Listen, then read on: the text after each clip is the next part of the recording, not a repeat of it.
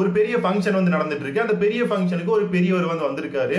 அந்த பெரியவர் வந்து ஒரு காஃபி மெஷின் பக்கத்தில் நின்றுக்கிட்டு அவர் ஒரு காஃபி வந்து அதாவது ஒன் யூஸ் டம்ளர்ல ஒரு காஃபியை வந்து அந்த காஃபி அந்த காஃபி மெஷின்ல இருந்து வந்து குடிச்சிட்டு இருக்காரு அப்படி குடிச்சிட்டு இருக்கும்போது அவர் பக்கத்துல வந்து ஒரு யங் மேன் வந்து நிக்கிறாரு. அதாவது ஒரு இளம் வயசு இருக்கிற ஒருத்தர் வந்து நிக்கிறாரு. அப்ப அந்த பெரியவர் அந்த யங் மேனை பார்த்துக்கிட்டே வந்து அப்படியே கொஞ்ச நேரம் கொஞ்ச நேரம் பாக்குறாரு அந்த யங் மேன் டக்குன்னு அவர் திரும்பி பார்த்த உடனே லைட்டா வந்து சிரிக்கிறாரு. சிரிச்சுக்கிட்டே வந்து பேச ஆரம்பிக்கிறாரு. ஸோ போன தடவையும் நான் இந்த ஃபங்க்ஷனுக்கு வந்திருந்தேன். அப்படி நான் போன தடவை இந்த ஃபங்க்ஷனுக்கு வர்றப்போ இவங்க வந்து எனக்கு ஃப்ளைட்டில் வந்து டிக்கெட்ஸ் வந்து புக் பண்ணி கொடுத்தாங்க. பிஸ்னஸ் கிளாஸில் எனக்கு ஃப்ளைட்டில் வந்து ஒரு டிக்கெட் வந்து புக் பண்ணி கொடுத்தாங்க. அந்த டிக்கெட் வச்சு தான் நான் ஃப்ளைட்டில் வந்து இங்கே இறங்கினேன். ஸோ ஏர்போர்ட்டில் வந்து நான் இறங்கினப்ப கூட இவங்க எனக்காக கார் சென்ட் பண்ணாங்க. ஸோ அந்த காரில் தான் நான் ஏர்போர்ட்லேருந்து இந்த ஃபங்க்ஷனுக்கே வந்து வந்தேன். ஏன் இந்த பெரியவர் இவங்க இப்படி கூட்டிகிட்டு வந்திருக்காங்க அப்படின்னு பார்த்தீங்கன்னா போன வருஷம் இந்த ஃபங்க்ஷனுக்கு இந்த பெரியவர் தான் வந்து சீஃப் கெஸ்ட்டாக இருந்திருக்காரு. ஏன்னா போன வருஷம் இந்த பெரியவர் வந்து ஒரு பெரிய கம்பெனியோட சிஇஓ ஆனால் இந்த வருஷம் என்ன நடந்திருக்கு அப்படின்னு பாத்தீங்கன்னா இந்த பெரியவர் வந்து அந்த சிஇஓ போஸ்டிங்ல கிடையாது. அவருக்கு வயசாயிருச்சு அப்படின்ற காரணத்தினால அந்த பெரியவர் எடுக்கிற டெசிஷன்ஸ் எல்லாம் சரியா இல்ல அப்படின்றதுனால வந்து அந்த பெரியவரை அந்த சிஇஓ போஸ்டிங்ல இருந்து வந்து தூக்கிட்டாங்க. சோ இதான் நடந்த ஒரு நிலவரம். சோ இப்போ என்ன ஆகுது அப்படின்னு பாத்தீங்கன்னா அந்த பெரியவர் வந்து போன வருஷம் வந்து அந்த லக்ஸரி கார்ல வந்து இந்த ஃபங்க்ஷனுக்கு வந்து இறங்கினாரா? இறங்கிட்டு ஸ்பீச் எல்லாம் கொடுத்து வந்து முடிக்கிறாரு. ஸ்பீச் எல்லாம் கொடுத்து முடிச்சதுக்கு அப்புறம் இவர் வந்து எனக்கு காஃபி வேணும் அப்படின்ற மாதிரி வந்து கேக்குறாரு. சோ அந்த மாதிரி காஃபி வேணும் அப்படின்னு கேட்டப்ப என்ன சொல்றாங்கன்னு பாத்தீங்கன்னா இந்த அந்த சர்வ் சர்வ் பண்றவங்க எல்லாம் வந்து இருப்பாங்கல்ல?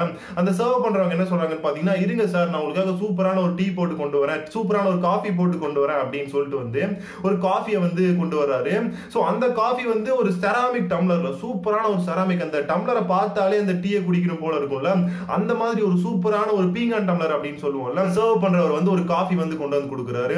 சோ அதை குடிச்சிட்டு அந்த பெரியவர் செம காஃபிப்பா அப்படின்னு சொல்லிட்டு வந்து அந்த அங்க சர்வ் பண்றவர்கிட்டயே அந்த கப்பியை வந்து கொடுத்துறாரு சோ போன வருஷம் இந்த மாதிரி இருந்துச்சு அப்படின்னு வந்து அந்த பெரியவர் வந்து அந்த யங் மேன் கிட்ட வந்து எக்ஸ்பிளைன் பண்ணிட்டு இருக்காரு ஸோ அப்படியே நம்ம அதை ஸ்டாப் பண்ணிட்டு அடுத்து பெரியவர் என்ன சொல்றாரு அப்படின்னு பாத்தீங்கன்னா இந்த வருஷமும் நான் இங்க வந்தேன்.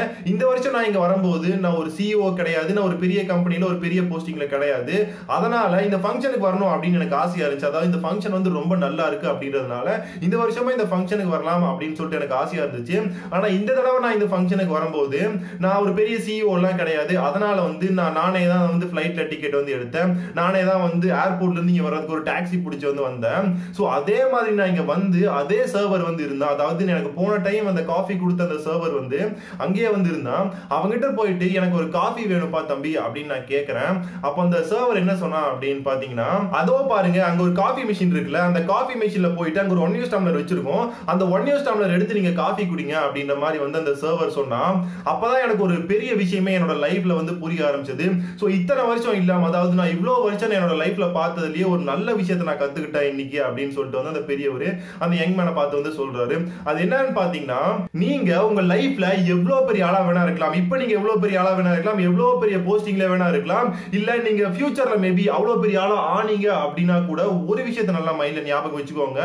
மக்கள் உங்களை மதிக்கிறது எதனால அப்படின்னு பாத்தீங்கன்னா நீங்க இருக்கிற போஸ்டிங்னால தான். நீங்க இருக்கிற பொசிஷன்னால தான். சோ நீங்க அந்த பொசிஷன்ல இருந்து கொஞ்சம் கீழே இறங்குனீங்க அப்படின்னு வச்சுக்கோங்களேன். கொஞ்சம் கீழே இறங்குனீங்க அப்படின்னா உங்களுக்கு மதிப்பு இருக்காது. ஏன்னா மக்கள் மதிச்சது உங்களோட பொசிஷனுக்காக மட்டும்தானே தவிர உங்களுக்காக கிடையாது. ஏன்னா இந்த பெரியவர் சிஇஓ இருக்கும்போது இவருக்கு நடந்ததே வேற. அதே மாதிரி இவர் சிஇஓ இல்லாதப்போ இவருக்கு நடந்துட்டு இருக்கிறது வந்து வேற. ஸோ அதனால ஒரு விஷயத்தை எப்பவுமே மைண்ட்ல வந்து நல்லா ஞாபகம் வச்சுக்கோங்க. நம்ம கிட்ட இருக்குது அப்படின்றதுக்காக நம்ம ஓவரா வந்து ஆடக்கூடாது அப்படின்னு வந்து சொல்லுவாங்க. அதாவது தலையில வைக்கிற கிரீடம் எவ்வளவு கனமா இருந்தாலும் தலை கனமா இருக்கக்கூடாது அப்படின்னு வந்து நம்ம இளைய தளபதி விஜய் வந்து சொல்லுவார்ல. ஸோ அதை நல்லா மைண்ட்ல ஞாபகம் வச்சுக்கோங்க.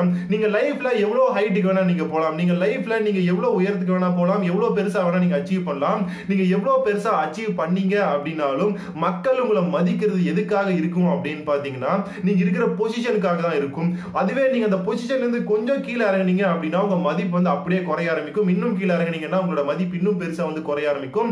அதனால மக்கள் உங்களை மதிக்கிறது உங்களுக்காக இருக்கணுமே தவிர நீங்க இருக்கிற பொசிஷனுக்காக மதிக்கணும் அப்படின்னு வந்து என்னைக்குமே வந்து நினைக்காதீங்க.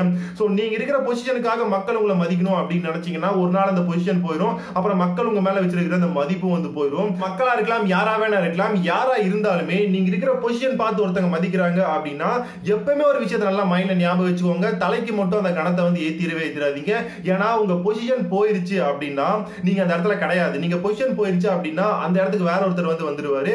அவருக்கு வந்து அந்த மரியாதையை வந்து கொடுக்க ஆரம்பிச்சிருவாங்க. நீங்க மரியாதை இல்லாத மாதிரி ஃபீல் பண்ணுவீங்க. நீங்க டவுனா ஃபீல் பண்ணுவீங்க. அதனால எப்பவுமே உங்களுக்கான மதிப்பை மட்டும் தேடிக்கோங்க. நீங்க இருக்கிற இடத்துக்கான மதிப்பை எப்பவுமே வந்து தேடிக்காதீங்க. எவ்வளவு பெருசு பெருசானாலுமே வந்து வந்த வழி மறக்கக்கூடாது அப்படின்னு வந்து சொல்லுவாங்கல்ல. ஸோ அந்த மாதிரி ஒரு நல்ல கிராட்டிடியூட் இருக்கிற ஒரு ஆளா வந்து இருங்க இதுதான் நான் உங்ககிட்ட இன்னைக்கு சொல்லணும் அப்படின்னு நினைச்சேன். நம்ம இளைய தளபதி விஜய் சொல்ற மாதிரி தலையில வைக்கிற கிரீடம் எவ்வளவு கனமா இருந்தாலும் தலை கனமா இருக்கக்கூடாது அப்படின்றதுல எப்பவுமே வந்து தெளிவா இருங்க. ஸோ நம்ம வேற ஒரு வீடியோவில் பார்ப்போம். Tata bye bye thanks for வாட்சிங் and always have fun bye